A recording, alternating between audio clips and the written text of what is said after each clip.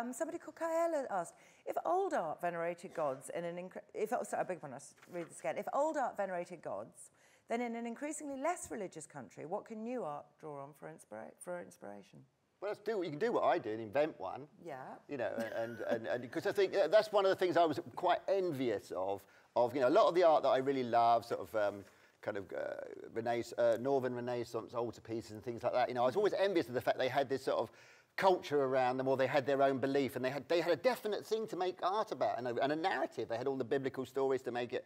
And it was very clear. So what they could concentrate on was the kind of the, the, the character, the form, and, and, and the style, and they could concentrate on that. And I was a bit envious of that because for me, I have to come up with the ideas as well, which is a bit of an imposition on the modern artist, you know.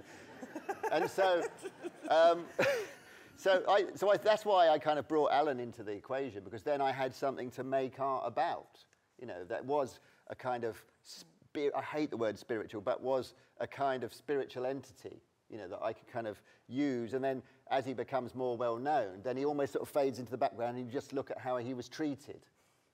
And that becomes the... Yeah, because I don't, you know, I found it interesting as a subject.